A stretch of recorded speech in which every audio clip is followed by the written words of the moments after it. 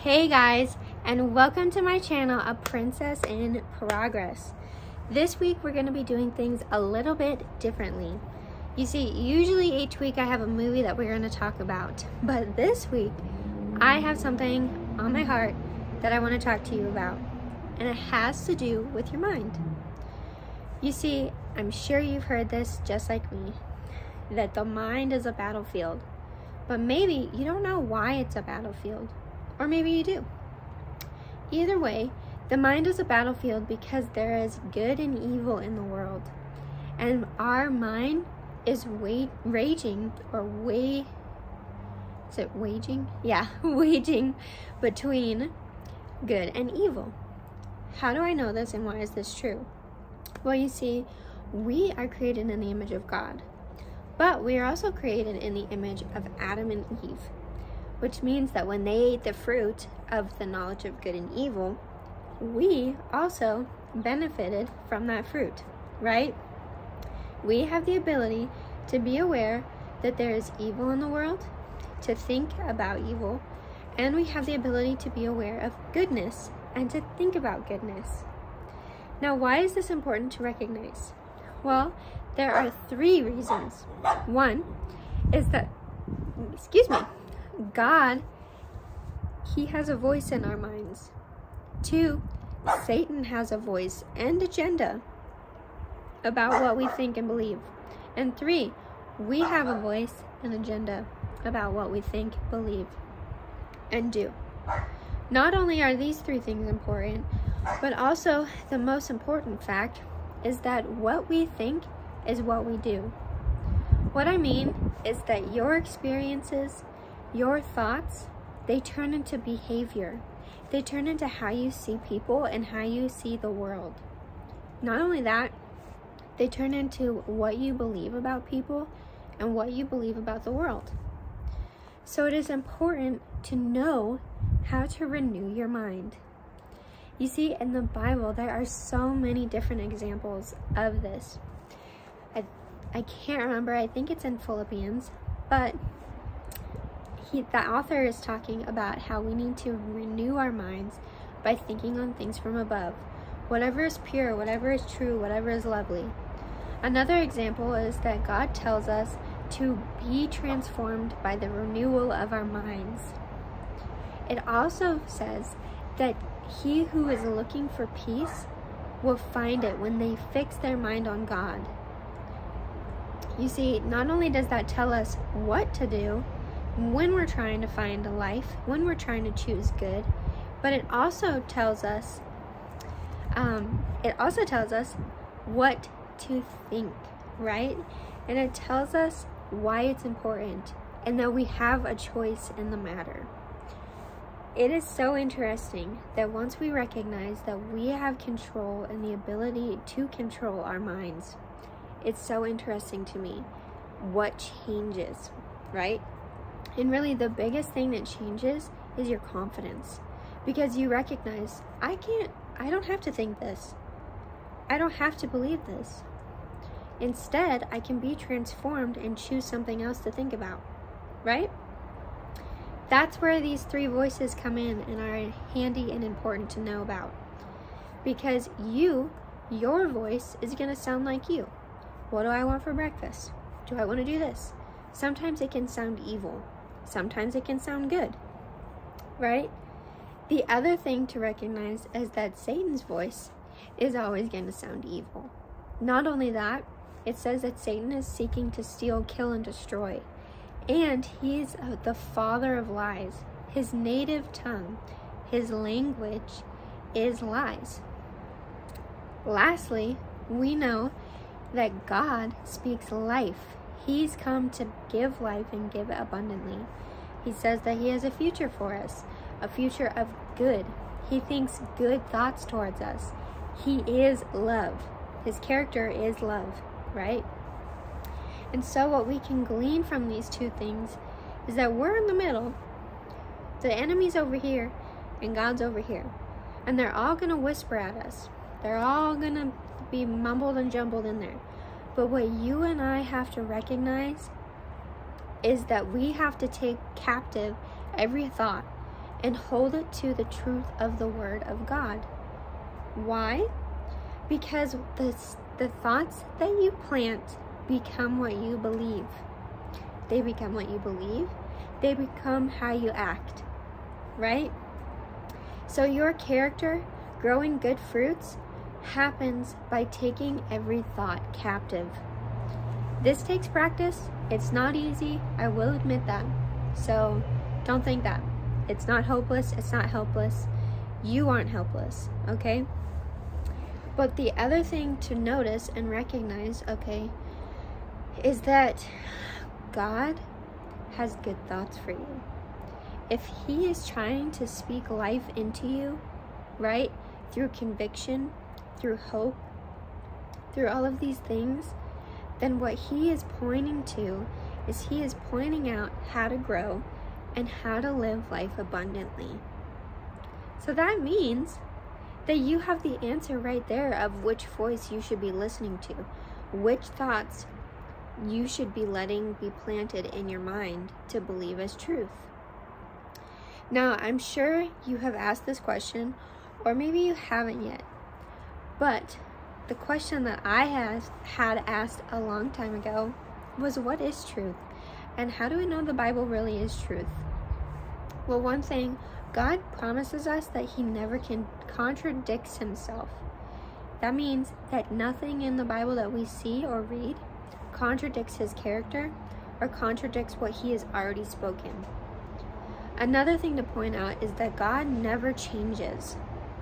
He says he is the same yesterday, today, and tomorrow. The reason that this can be held as absolute and abundant truth is because God has, He has no, I don't know, um, He has no, um, He's not going to gain from your life, okay? You're going to gain from His life. That's how we can know it's truth. You know, people oftentimes will try to do things that will gain their in their life, right? That they can gain from. God's not giving us any tools where he can gain from them because he doesn't need us. He created us because he wants us. So if you're questioning whether or not this stuff that I'm speaking is truth, recognize that God hasn't changed or ever contradicted himself. Not only that, because you know what goodness is, means that there is an absolute standard for goodness. It means we have a good God that gave us that standard, right? Not only that, you know what darkness is, right? So if the Bible lays out what and why it happened, and it never can contradicts itself, it never points out things that allow humans to gain from it. In fact, it asks us to sacrifice our own lives. And God never changes. Then we can have confidence that this is the truth that God speaks over us. so just rest and know that God is speaking truth. Lastly, what I want to point out is that you do have control over this, okay? You have control over what you think. So here is how you can um, practically put this into practice, I guess. Practically practice. and that is by taking every thought captive. What I mean is that when you have a thought that doesn't feel like your own, when you look at, when you think, I'm worthless, I should just end my life right? That's probably not your thought. How do I know this? Because I've been there. But I also know this because that thought is so dark that you probably wouldn't have gotten there yourself without an idea first. So, what I want to say is that when you have that thought, you hold it, you say, Well, let's put a pin in it. Is this truth? Am I worthless? Then, what you can do is you can go to the Bible or if you have scripture hidden in your heart that you've memorized, you can bring it up and you can say, Is this what God says about me? Is this what truth says about me? If not, it is a thought that needs to be unplanted. It needs to be let go. Okay? This takes practice, friends. And it takes practical practice. I don't care what thought you have. I don't care how many times you've had that thought. I don't care if it takes five seconds. If it happens every five seconds and it takes you five minutes to figure it out, or five years, or five decades, or five days. I don't care. What I care about and what God cares about is that you're trying.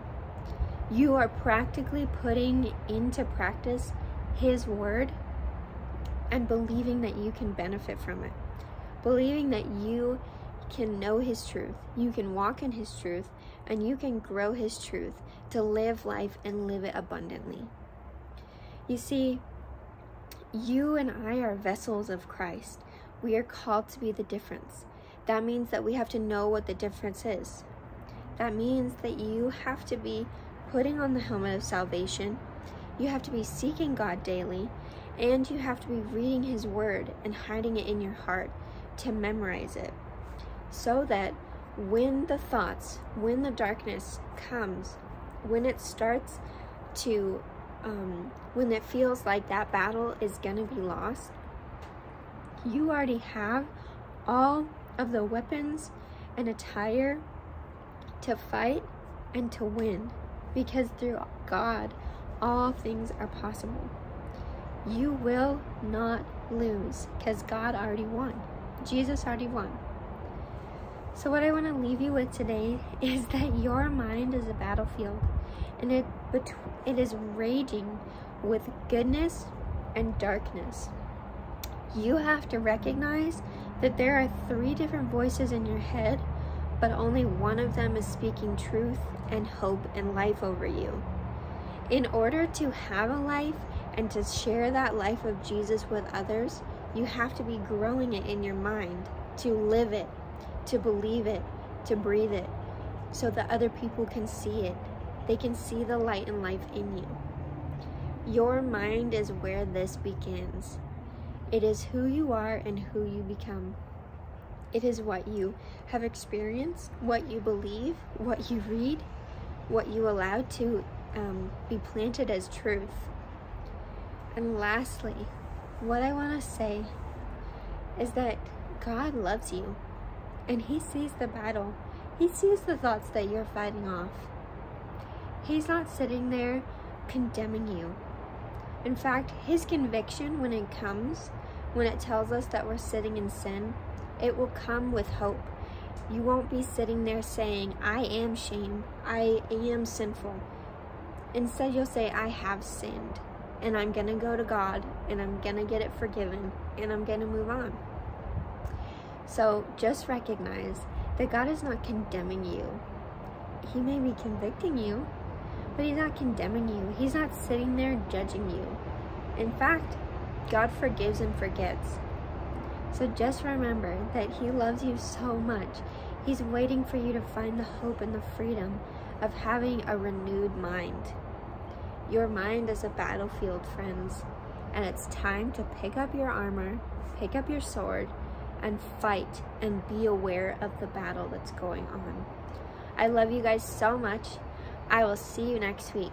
Don't forget to hit subscribe or hit the notification bell so that you never miss one of my videos. Also, comment below things that you found interesting or uh, things you would like to see on the next video. I would greatly appreciate it if you would share this video with someone and if you would give it a like or a thumbs up. I love you guys so much and I'll see you next week. Bye.